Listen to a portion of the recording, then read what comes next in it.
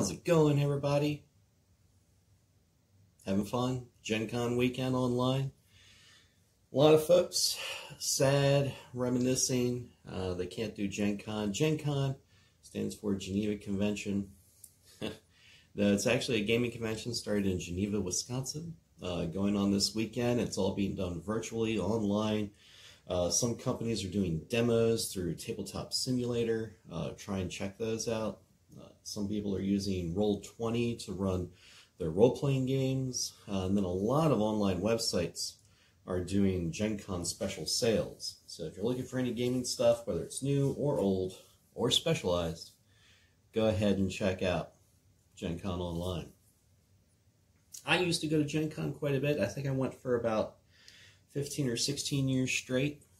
Um, then a couple years ago, I just stopped. It just got to be a little too crowded for me. Um, you would have to sign up for your events back in, uh, good grief, like May, uh, April or May. And you had to be online at noon on that Sunday, constantly hitting the uh, process button on the tickets that you already put into your shopping cart a couple of weeks before. I think the last couple Gen Cons I went to, I missed on all but one of my tickets that I wanted. Um, it, it, just got way too big, um, a little too crowded, hard to move around the exhibit hall. So I'm now looking at maybe doing Origins when conventions start back up, uh, just because I really love gaming conventions. It's got everything there. You get to see new stuff. You get to demo new games before it comes out. Uh, you get to see the artists, uh, talk with them, get sketches done, uh, your favorite cards signed by them. Uh, you get to talk with the game creators. It's just really, really fun. The purpose of this video, though, is one of the things that I loved doing at Gen Con is going around the exhibitor hall looking for old games or anything that was clearanced or out of print. That way I could find some games to play really cheap. I love cleaning up in the clearance section. Uh, one of the last Gen Cons I went to, Fantasy Flight Games announced um, in their in-flight report, which was usually the report they did Wednesday night into Thursday, and the convention would open on Thursday. They announced that they were going to be reprinting the old West End Star Wars D6 system. So at that Gen Con, I went around every clearance exhibitor that I could find and scooped up any of the old Star Wars West End D6 uh, adventures, um, support manuals, uh, anything I could find. There were only a couple other people out there that I saw that were doing that as well. So I was able to you know, stock up on old Star Wars adventures, waiting for that reprint to come out. Went home, had it pre-ordered with my local game store, and then waited. And then when it came out, you know, it just fit the collection perfectly. It was an amazing product. But, you know, the whole process of going through all the clearance areas, hunting, um, hunting for those bargains, hunting for the items, it's just the thrill of the chase that really gets me as a collector. I just love trying to hunt something down, complete a set. What bargains can I find? Uh, so, yesterday, um, I went out to a local shop called Ollie's, Ollie's Bargain Outlet. If you're in Salisbury, Maryland, feel free to head over there. They might still have some of these in stock. Just to see, I mainly went in there um, to get books, comic books, coloring books, and also to see, you know, what sort of toys or games do they have. I was really surprised by the selection. We're going to go over them right now. We're going to start with my most expensive purchase, which was Council of Four by CMON Games. Some people say CMON Games. I say, come on. Uh, cool mini or not. Great company. Makes beautiful games. Amazing product value.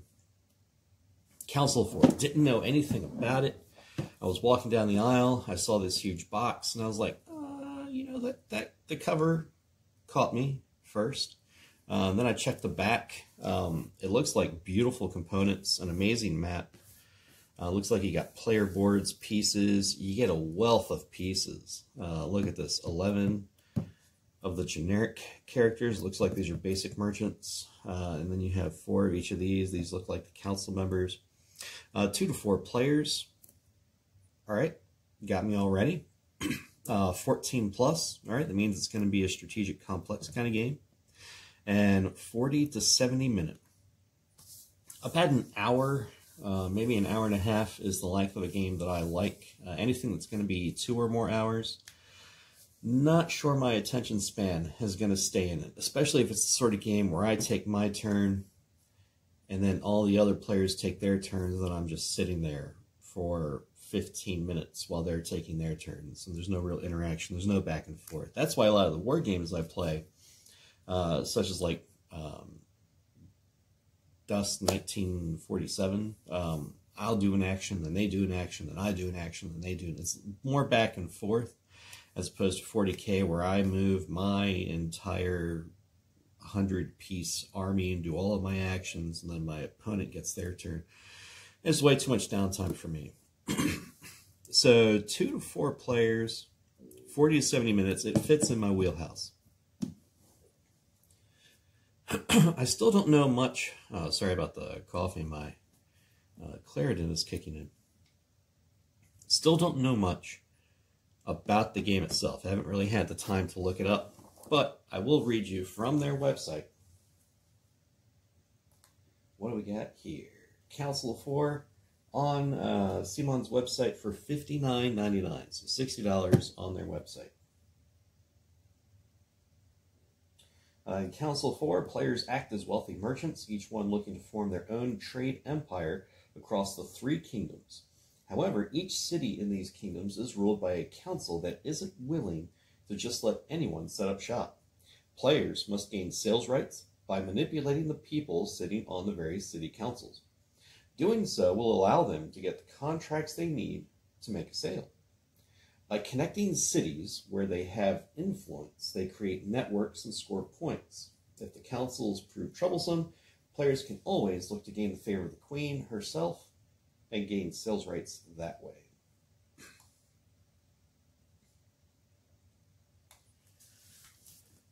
So I'm not sure exactly what to expect from the gameplay. I'll have to watch a couple gameplay videos, but let's take a look at how much I spent on it. 19.99. 19.99 for a $60 CMON game. Thank you, Ollie's Bargain Outlet. If they have any more of these, I'll probably pick up at least one more, um, just so I can keep one sealed and make a nice Christmas gift for uh, any of my board gaming friends. Let's go on to the next purchase that I found there. Level 7 Invasion. This is put out by Privateer Press. Uh, they do Warmachine and Hordes, the miniature skirmish game. This one caught my attention. At first, I wasn't even going to touch it, um, just because the, the artwork really didn't grab me. And then I saw it was Privateer Press, and I was like, well, their miniatures game is fine, but I really haven't done many of their board games. But then I saw semi-cooperative, and I love cooperative game. So I'm not sure what the semi is. Maybe there's like a traitor mechanic or a defector mechanic. Um, global defense game for three to five players. All right, so it sounds like a pandemic, but instead of diseases, it's aliens. Okay, sure. Let's uh, let's take a look. And then I picked it up. Oh my goodness, this this thing has some weight to it. This has some heft. Uh, so you can see the board right here, some of the pieces. Let's get up a little bit closer on that. You can see the reflection of my tablet there. And you got what looks like probably the player board down here.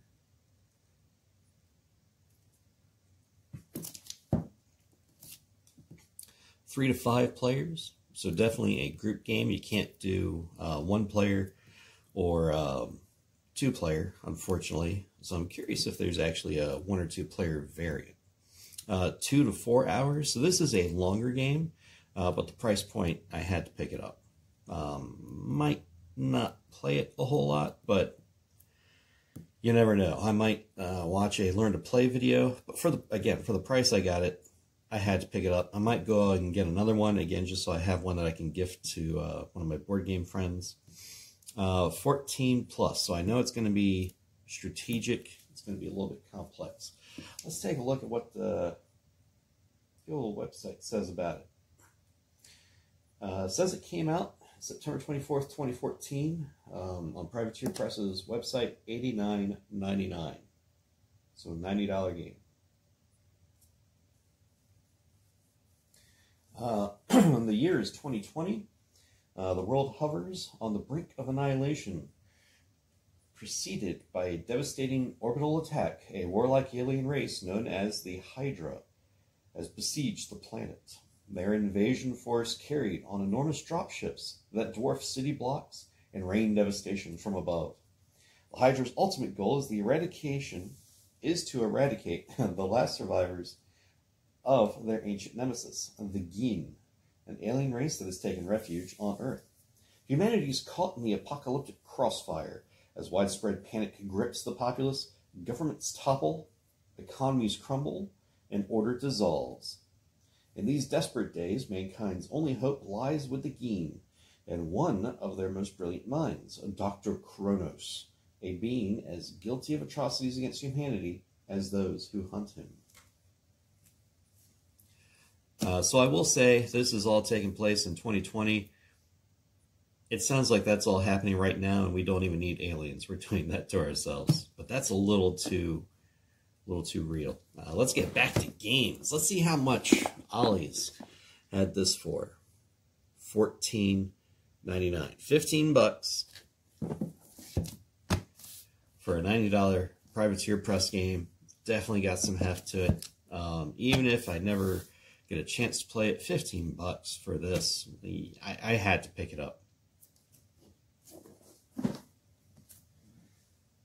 And Ollie's is one of those uh, discount places um, where they buy liquidation stuff. So they're buying the stuff pennies on the dollar. Uh, and then they have like their own selling metric uh, based on how much they had to pay for it they do some like online research for how much they go for online. So they they do put things out for a budget. If you don't have an Ollie's um, in your home location, uh, there's plenty of liquidation places out there or clearance stores. Um, definitely make a trip out there. Make sure you're being safe. Wear your masks. Uh, wear your gloves. Hand sanitize. Uh, social distance of six feet. But there, right now, are some really good deals out there. And some of them are hidden. Next up, keeping our value train going. As you notice, the prices keep getting lower and lower. Uh, we've got 3012, the deck building game. Uh, Cryptozoic, I believe. Yep, Cryptozoic Entertainment. Look at that cover. Let's go on over, uh, pull up this game's information. What we got going on here? Just look at the artwork on these cards. in the plastic, you can see the reflection of my, my tablet setup. I have it hanging over the table here. I mean, the artwork alone caught my attention. This was the only copy that they had on the shelf. Um, so I grabbed it mainly because of that, and then I saw the price of it, and I was like, "Yeah, this this is this was a good buy." Uh, looks like it's got a couple little holes in the plastic, but otherwise, you know, it's, it's brand new. It's still sealed, still wrapped. Uh, let's take a look at what we got here. Uh, MSRP on this on Cryptozoic's website was $44.99, so 45 bucks for this. Uh, playing time 45 to 60 minutes. Awesome great game length. That fits my uh, that fits my bailiwick. Uh, for ages 15 and up, so I know it's gonna either have mature themes in it or it's gonna be a little bit more strategic than a standard game. All right. Uh, you're going to have 120 action cards, 48 encounter cards, 15 gold tokens, 5 oversized hero cards, 20 ally cards, 20 weapon cards, 20 scouts, 5 hero tokens, 1 rulebook, 1 game board, 1 six sided die. Uh, release date was October 23rd, 2012, so definitely been out for a little while. I didn't even know about it. I hadn't even heard of it. Um, so coming across this little gem, picking up for the price that I did, amazing buy. Definitely had to pick it up.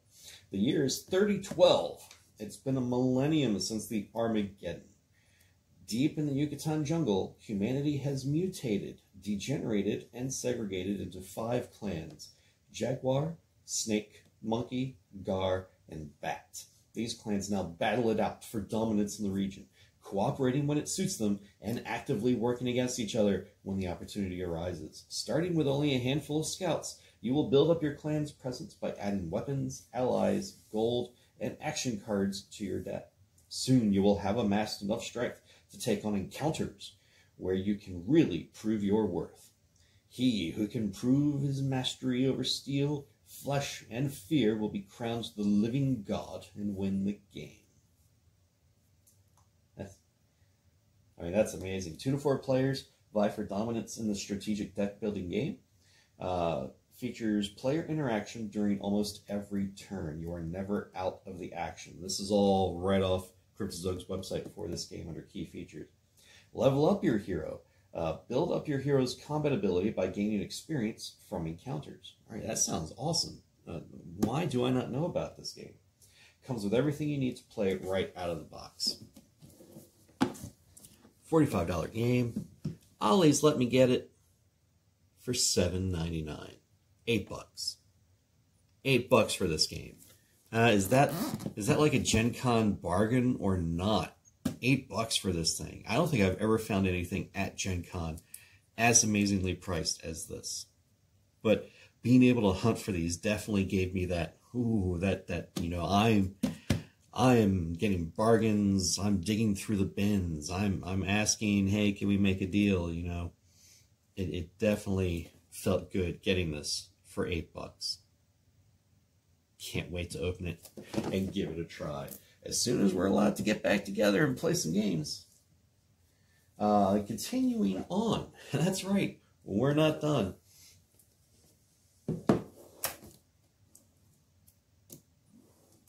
Warmachine, High Commands. But wait. Let me put that one to the side. Warmachine, High Command, the Faith and Fortune set. But wait, there's more. And then, of course, Hordes, High Command. That's right, they had all three. They had plenty of these. Um, they had like two shelves full with all three of these. They didn't have the small little two-player um, set. However, they did have each of these. Um, all three high commands. Warmachine, War Machine, Faith and Fortune, and then the Hordes one. Let's just go over these real quick. Uh, so the Warmachine one came out August 28th, uh, 2013, uh, $44.99 on Privateer Press's website. Uh, it gives you Cryx, Khador, Protectorate of Menoth, and Cygnar. And then Faith and Fortune, uh, September 24th, 2014, so about a year after, uh, $44.99 as well, so another $45 game.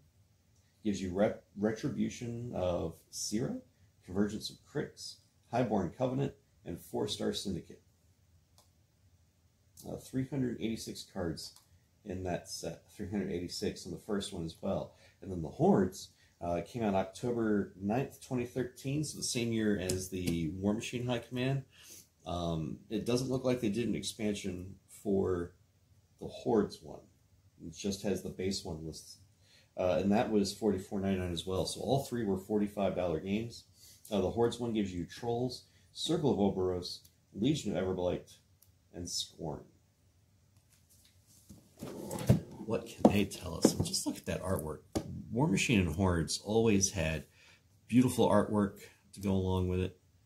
Um, yeah, I loved the miniatures game. It was just a fun, quick little skirmish game. I really didn't get into it too much because all the miniatures were metal, and I'm not a big fan of metal. I can't stand painting metal miniatures. Um, but they started going over to resin and plastic. Unfortunately, I'm in other games now, and I really don't have the budget to go back to this game. Plus, most of the people at the local game store play other games. Um, Warhammer 40k, Age of Sigmar, Brutality. Um, I think it's Rangers of Silvermoon, Evermore, uh, Dark Shadow. I'll have to look it up. Uh, and everyone started getting into Dust, uh, Dust 1947, just because the miniatures come pre-assembled, pre-primed, and all you have to do is paint and play, and the games are pretty simple. Uh, but this, the box contains game rules and 386 cards, including uh, like Trollblood, Circle, Legion, and Scorn, uh, 15 Winds of War cards, and 15 location cards. Uh, Hordes High Command is a deck building card game for two to four players set in the foreboding wilds of western Immoren. This standalone game can be played with just the contents of this box or combined with other Hordes High Command products for a customizable experience. Leverage your resources, gather your armies, and dominate your foes to stake claim to the wilds of western Immoren. Um, a weird thing that I'm seeing is it really doesn't tell you number of players or length of gameplay.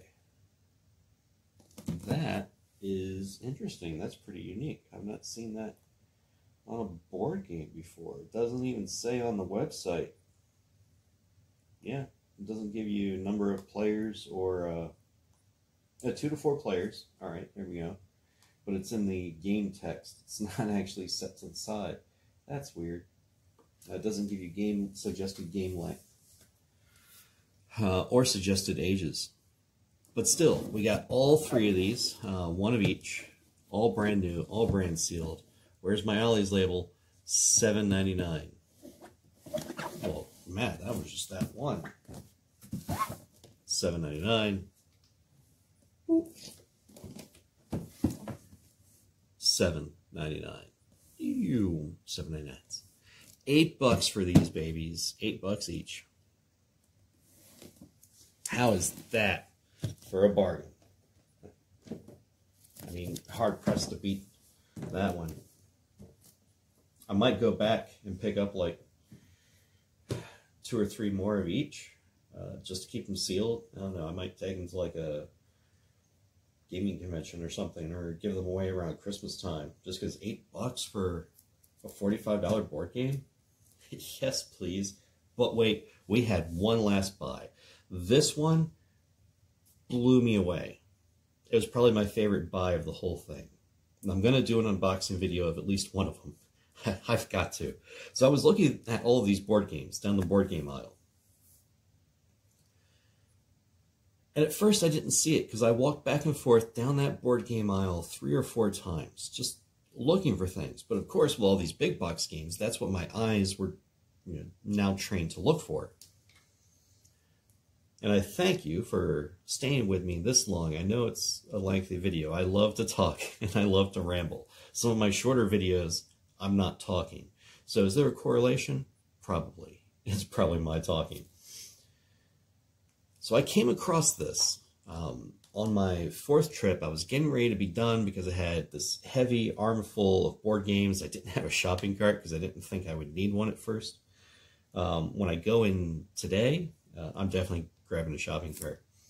And then I came across for $7.99 unopened Star Trek customizable card game Mirror Mirror expansion booster box by Decipher. Still sealed in the Decipher wrapping. Seven ninety nine each.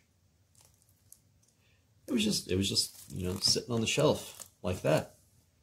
Um, so of course going down, I that's all that you see. So I'm trained to look for these huge boxes. I just happened to see Star Trek. I'm like, oh, what what kind of stupid game is that? It's a small box. And I was like, wait a minute is that a booster box? And then I saw Mirror Mirror, and I was like, that can't be. Picked it up, and I noticed there were more behind it.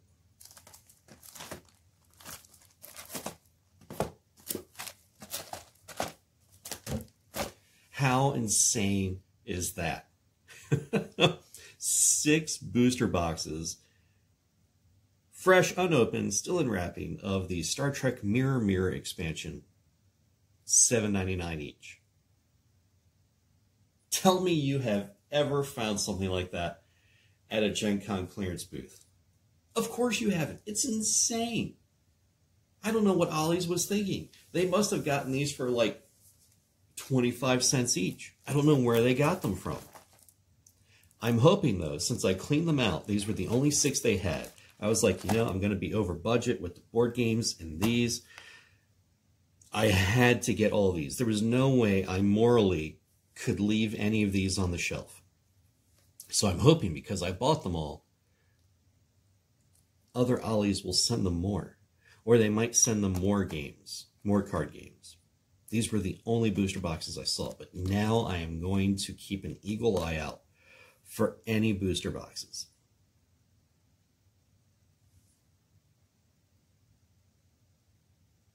I, I, I just, I still can't believe it happened. They're here in front of me. I still don't know what happened to cause this to occur.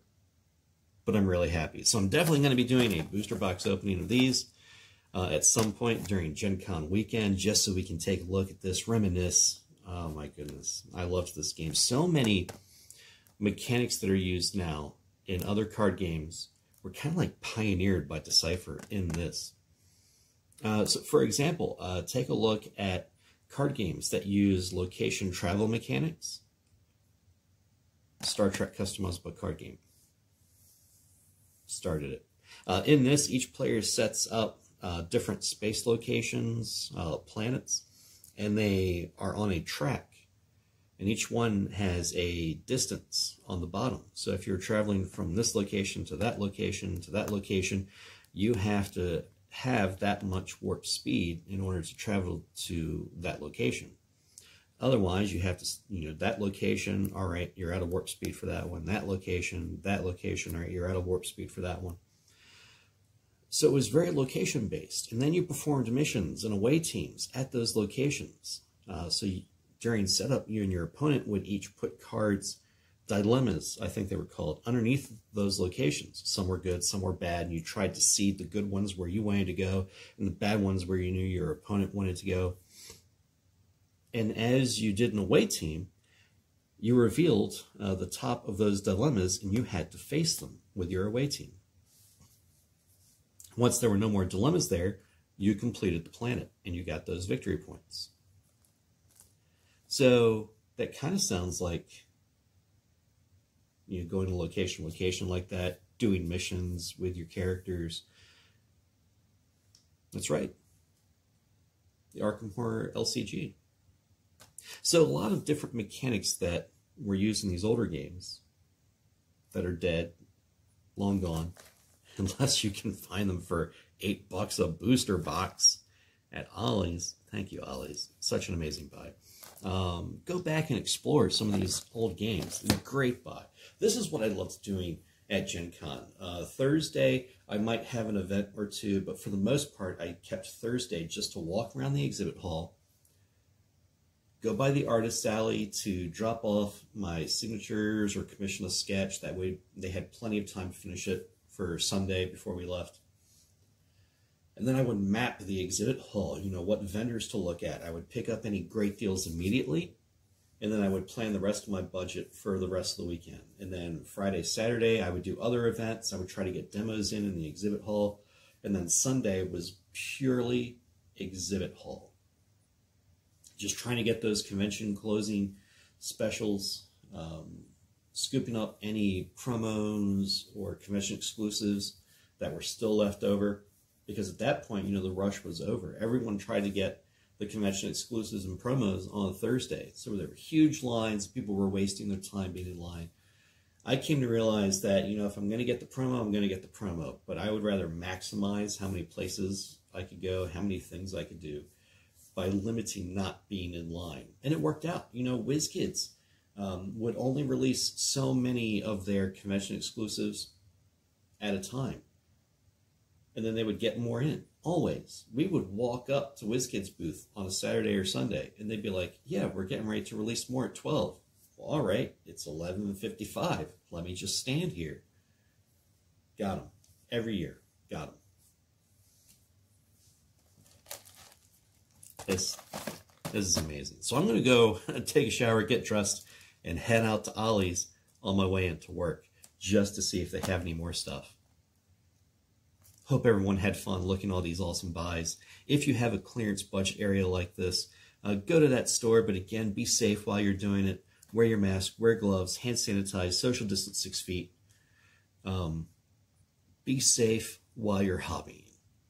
But during this Gen Con weekend, take part in it. If you've never been able to get to Gen Con before, Gen Con Online is making everything the most accessible it could possibly be. Companies are doing live streams um, about you know what what's going on. They're doing demo videos, demo streams where you can participate in, you know, make your comments about what moves you want to do. Uh, go to Roll20, sign up for some role-playing games. The D&D exclusive adventure that was always at Gen Con. See if you can get into that. If you've never been to a Gen Con before, this is the best opportunity for you to feel what Gen Con is like. There's so many websites out there having gaming sales and product sales and product releases. Convention exclusives are open to everyone now because of this. Yeah, there's a limited supply, but during this whole thing, you think companies aren't going to make extra to get those extra sales? Everyone needs their money. Everyone's doing sales. Buy it up. Be responsible with your hobbies. Be safe as you go out shopping. But yeah, enjoy your hobbies. Have fun. I'm definitely going to have fun with this. I'm going to go out and see what else they got. Maybe they got more stuff in since yesterday. Who knows? Uh, I may have missed uh, something. Definitely going to go back and do some more hunting. Thank you for watching. Thank you for staying with me. Have an amazing Gen Con online weekend. And as always, during this whole COVID situation, you stay safe. Later.